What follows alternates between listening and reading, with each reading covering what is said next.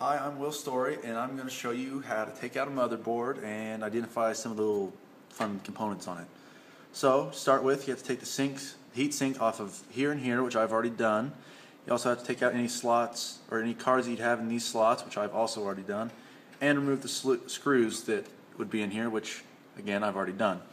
So, take the motherboard out, take it, and you slide it back so it's clear of this little wire mesh, and then you just lift it up, and hey presto, you have a motherboard. So, some of the different slots we have, these two are PCI slots, just normal old everyday PCI slots. They take 5 volts of power each. This one's PCI 1X, or 1 times, or whatever you want to call it, and it takes 1.5 volts of power.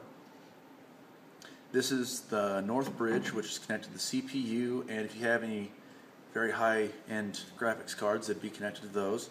This is the South Bridge, which is connected to the PCI slots and these external slots over here.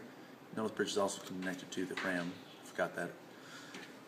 And then these external slots right here, we have monitor cable or audio or video, not audio. We have an Ethernet port. These four are USB. We have audio in, audio out, and a microphone.